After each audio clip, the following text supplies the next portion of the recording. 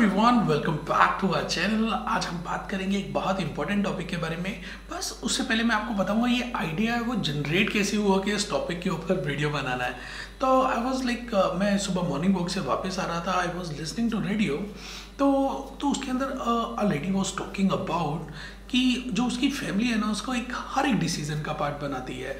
For example कोई भी decoration करनी हो, कोई भी मैरिज हो, कोई भी कुछ खरीदना हो तो she is a part of every decision but anything जब भी कोई आता है कि आप बिज़नेस से रिलेटेड है या फिर कोई मनी का मैटर है she is not a part of that तो वो उसका पार्ट नहीं बन पाती है.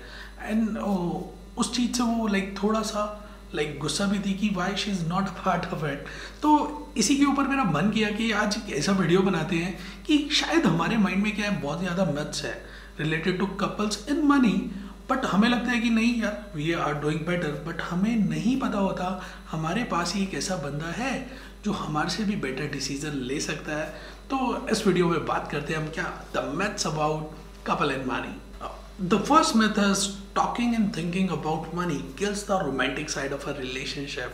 तो बहुत सारे कपल को ऐसा लगता है क्या कि जब भी वो अपने स्पाउस से बात करेंगे about the money and money related issues तो जो उनका रोमांटिक साइड है वो क्या हो जाएगा? ख़त्म हो जाएगा।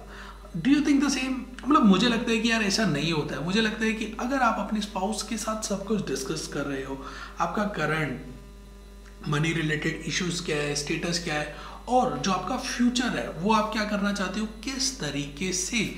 आप चाहते हो कि यार ये मेरा फ्यूचर है या ये मेरा टारगेट है कि इस ये मनी रिलेटेड इशू को फ्यूचर में हम इस तरीके से सॉल्व करेंगे? या मेरी एक्सपेक्टेशन है कि मुझे इतना पैसा कमाना है? तो ना बहुत people are working for a same goal अभी तक एक ही पर्सन काम कर रहा था। अभी दो लोग काम कर रहे हैं सिर्फ़ एक ही गोल के लिए, जिसके अंदर क्या है, आपके स्पाउस से आपको क्या मिलता है, बहुत ही ज़्यादा वैल्यू एडिशन मिलता है।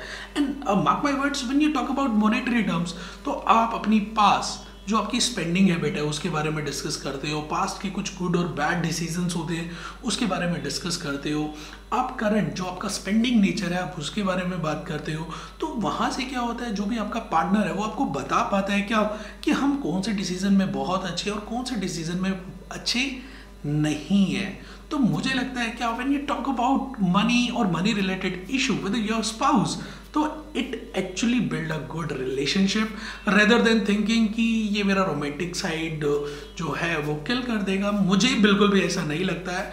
अगर आपको क्या लगता है, ज़रूर मुझे एक बार कमेंट बॉक्स में बताना ज़रूर इस पॉइंट के नीचे कि what do you feel and the second myth is the partner who earns more knows more हमें लगता है कि हमारे जिस पार्टनर है, जो ज़्यादा पैसे कमा रहा है, उसके पास ज़्यादा नॉलेज है।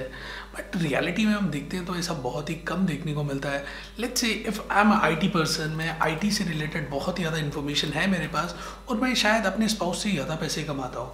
बट इसका मतलब ये नहीं है कि जो मेरी एनालिटिकल स्किल है, वो भी मेरे स्पाउस से ज़्यादा हो या फिर मेरी जो इन्वेस्टिंग स्किल्स है, वो भी मेरे स्पाउस से ज़्यादा हो see in like according to my experience की लाइफ के अंदर आप जिस भी चीज़ को टाइम देते हो ना over a period of time वो ग्रो हो जाती है। Let's say everybody has a limited time अभी आप अपने बिज़नेस को टाइम दोगे तो वो ग्रो हो जाएगा। आप अपने रिलेशनशिप को टाइम दोगे, वो भी ग्रो हो जाएगा। तो अगर मैं अपना आईटी फ़ील्ड को टाइम दे रहा हूँ तो मेरा जो आईटी के अंदर स्किल्स है वो इम्प्रूव हो रहा है।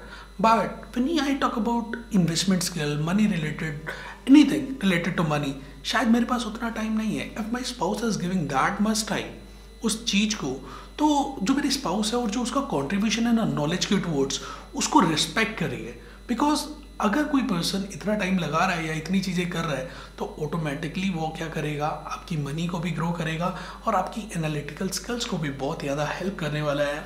तो these are the two myths जिसके बारे में हमने आज बात किया। तो मैं चाहूँगा आप अपने जो रिव्यूज़ हैं, वो ज़रूर कमेंट बॉक्स में कमेंट करके ज़रूर बताइएगा और ये भी ज़रूर बताना क्या कि आपके घर पर जो फाइनेंस हैंडल कर रहा है, वो कौन कर रहा है। Thank you so much for watching the video